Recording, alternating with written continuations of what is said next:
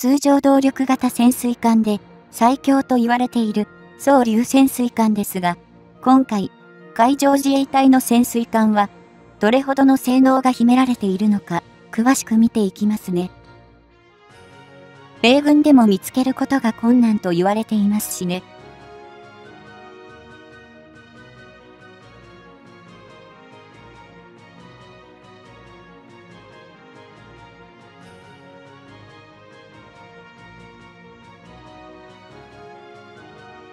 そう、竜型潜水艦は、世界に誇る日本の最先鋭通常動力型潜水艦である。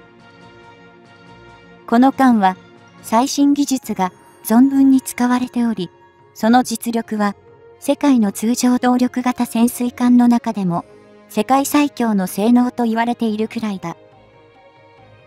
すでに、海上自衛隊では、そう、竜型潜水艦を12隻建造するとい。う予定があり、2018年3月の時点で10隻が建造されてい。た。どれくらい。優れた性能を持ってい。るのか気になるが、物が、物だけに非公開の情報が多く、なかなか公表されない。のが現状である。現在公開されてい。る海上自衛隊呉基地、横須賀所属の、そう、竜型潜水艦の性能諸言については、全長 84M、横幅 9.1M、高さ 10.3M。機関方式、ディーゼルスターリングエレクトリック方式、11番艦以降は、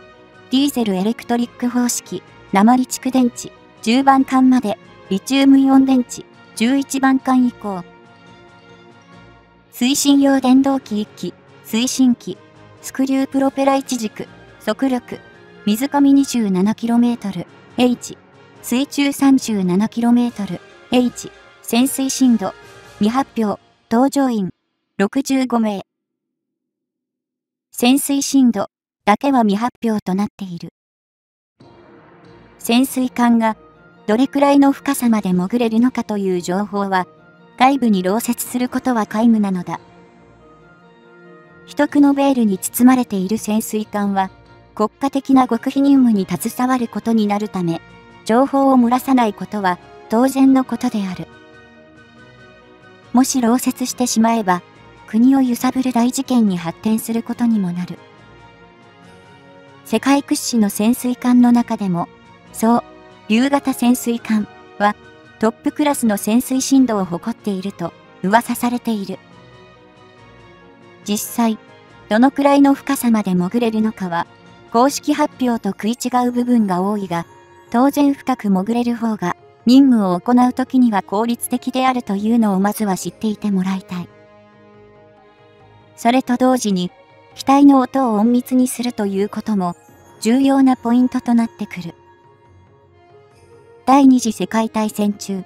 ドイツの潜水艦 U ボートを探索するため、連合国側は聴力のプロチームを配属させ、ひたすら海中の音に耳を澄ませるようにさせたことは有名な話である。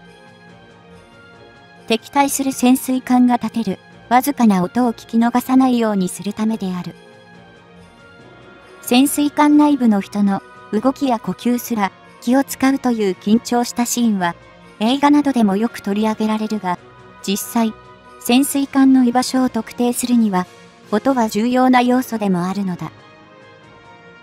韓国駆逐艦による日本の P1 哨海機へのレーダー照射事件が起きたことを覚えているだろうか。あの事件は、韓国駆逐艦の上空を飛んでいた P1 哨海機に対して、幾度もレーダーを照射し、偶然だ。という韓国の主張と、複数回の照射は偶然ではない。という日韓両政府の言い分が真っ向から対立した内容だった。対戦勝回帰という任務を与えられている P1 哨回帰ではあるが、非、狂気からすぐに発見されるような潜水艦があったとしたら、その間の性能は劣っているとしか言いようがない。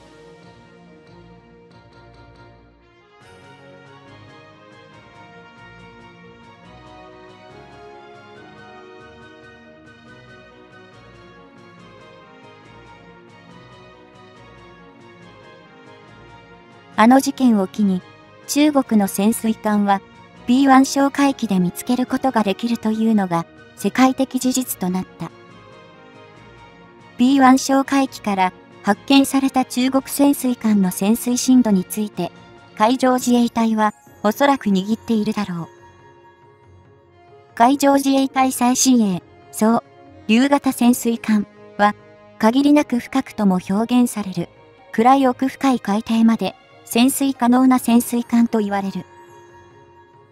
鉄国に、長所や短所などが公になるのは、人間であっても避けたいものであるのと同様、潜水艦の場合は、探索され発見されてしまう危険が特に高くなる。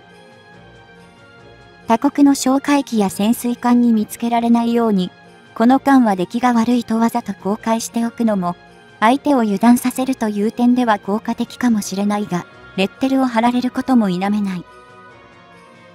2020年3月5日に収益した放流潜水艦の性能も楽しみでもあるし、その潜水深度や速度も気になるポイントである。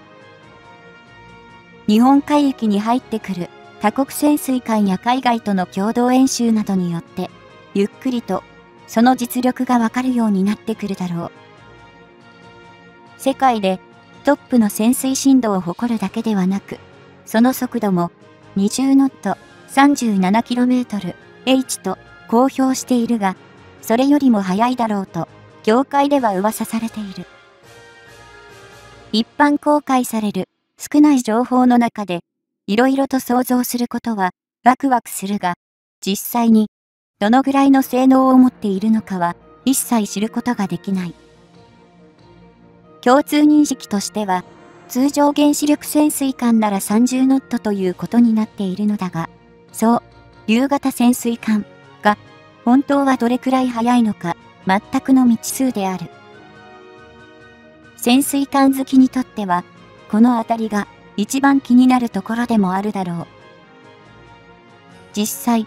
どこの国よりも深く潜ることができて、より速いスピードが出る潜水艦の方が海底では有利なのは寿命の利である。我側の方が深いところに潜み、敵艦の下から相手を攻撃し、いち早く離脱できれば何事もなかったかのように他の場所で別の任務に当たることもできるということだ。また、潜水艦の任務は攻撃して脱出するまでが任務の一つと言われている。海底の中継テレビがあるわけではないし、実際に自分の目で見ることができないところでは、地上の人間が想像を絶する真実があるのだ。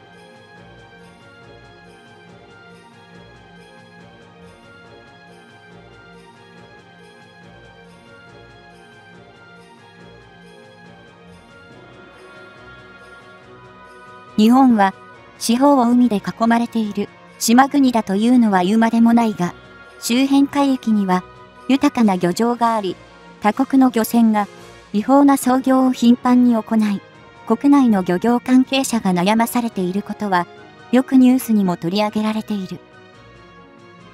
実際、日本国民にはあまり知られることもなく、ニュースにもならないようになっているのが潜水艦である。仮に中国やロシアの原子力潜水艦が日本の領海内に頻繁に来ているとすれば、海底を守ってくれるのは、そう、竜型潜水艦だと言っても間違いないだろう。数年前、尖閣諸島で中国原子力潜水艦が海面に上昇し、国旗を上げたことをご存知だろうか。実は、海底での潜水艦戦闘に負けた中国艦が、やむなく海上に上昇したのではないかと噂されている。尖閣諸島海域の海底で、どんな攻撃を受けたのかは知る由もないが、中国原子力潜水艦が、それほど性能が悪いものとも考えられないが、優れている潜水艦だとも言い難いのが事実である。中国海軍の潜水艦が低性能というわけではなく、むしろ日本の潜水艦が優秀すぎるのではないかと思慮する。やはり自国の潜水艦の潜水深度や速度はどんなに批判されようとも一般的レベルとして公表するか、完全未公表のままの方が良いということだろう。